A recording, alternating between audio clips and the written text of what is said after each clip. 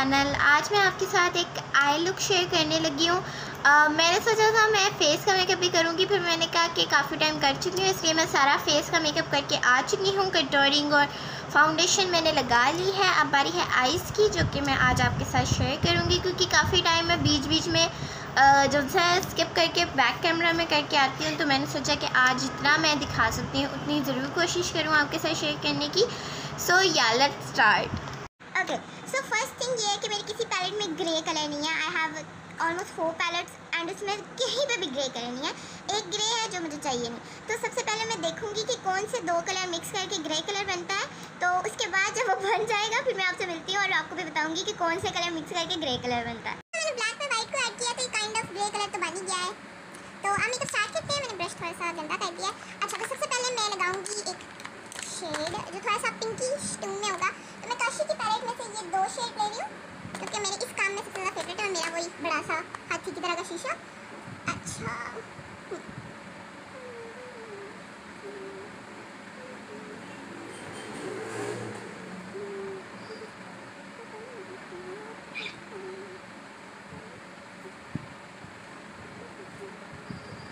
हमेशा dark colour को एकदम नहीं लगाते हैं थोड़ा सा पहले यू नो लाइट कलर लगाते हैं वरना फिर उसको संभालना मुश्किल हो जाता है। एंड uh, अगर आप से आप फजूल की बातें बंद करते हैं और कहते हैं। अच्छा इसके बाद मैं ये ब्लैक कलर लगा रही हूँ काशी की ही पैलेट से क्योंकि ये बहुत अच्छा ब्लैक कलर है।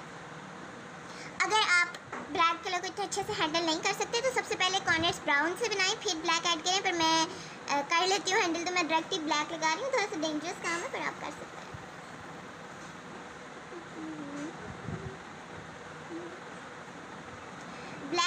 जितनी कुछ आपको ब्लैक कलर की बताया।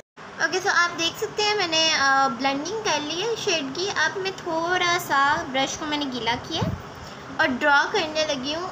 वो जैसी आँख मैं बोल रही थी। So like this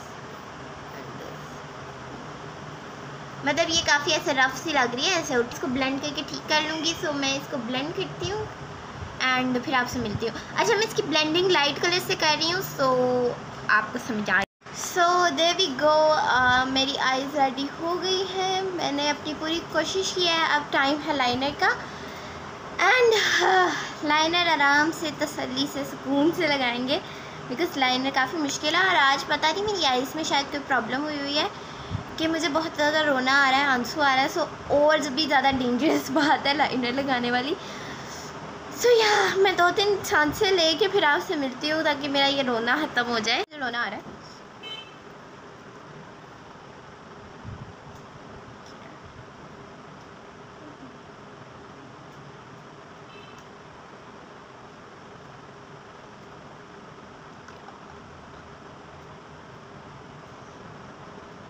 okay so liner लग गया है। अब बारी है लैशेस की तो मैं लैशेस लगा के मिलती हूँ। लाइनर नहीं दिखाया उसकी वजह यह है कि मेरी आँखों से ऐसे ऐसे कह के पानी निकल रहा था। और मैंने बहुत टाइम लगा के ये लाइनर लगाया बिकॉज़ अभी भी आप देख रहे हो मेरी आँखों में आँसू है। सो so, मैं लैशेस लगा के अब अब मिलती हूँ। वी गो लैशेस लग गई हैं। एंड लैशेस लगने के बाद मेरा रोना भी थोड़ा खत्म हो गया मेरा अभी भी लगाई है तो थोड़ी सी उखड़ी है। एक्चुअली मेरी आँखों से आँसू निकल रहे हैं जिसकी वजह से ना वो निकल रही है सो मैं उसको लगा के आती हूँ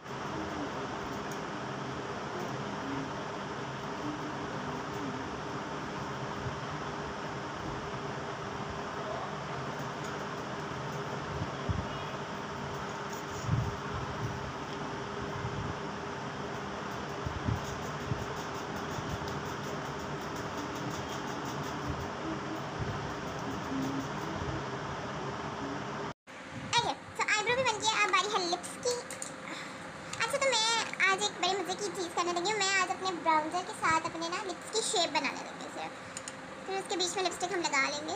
तो आई डोंट नो सही से नज़र आ रहा है या नहीं आ रहा है. बिकॉज़ ये बिल्कुल लाइट सा शेड है एंड आँखों से अच्छी निकल आज आपने रोती सितारा भी देख लिया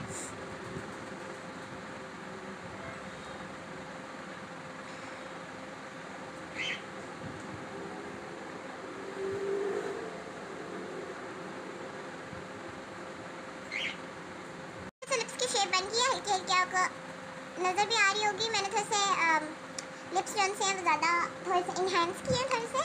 सो so, अब बारी है लिपस्टिक लगाने की। तो मैं न्यूड कलर की लिपस्टिक लगा रही हूँ। ये बहुत प्यारा शेड है। और ये है ब्रांड टोनी एंड टीना की और इसका शेड है सेवन थ्री फोर तो बहुत खूबसूरत शेड है। और मैं यूजली न्यूड कलर की लिपस्टिक लिपस्टिक जो सी होती है वो वो ज़्यादातर जो क्रीमी फॉर्म में लेती हूँ बिकॉज़ मेरे भी लिप्स काफ़ी ड्राई हैं सो मैं ड्राई लिपस्टिक ज़्यादा ले ही नहीं सकती। सो मेरे पास सिर्फ़ एक ही ड्राई लिपस्टिक है। अच्छा तो आप बता लेते हैं।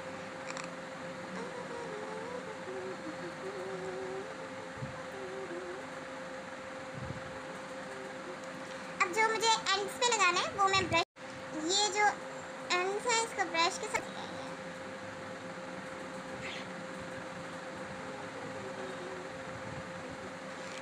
अच्छा इसके काफ़ी क्रीमी क्रीमी लुक आ रही है तो मैं थोड़ा सा टिश्यू लूँगी।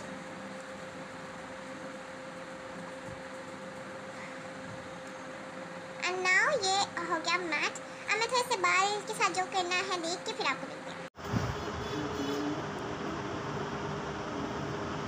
मैं मतलब मुझे बालों का काम करता है ना ऐसा ऐसा से होती है आँखें मेरी।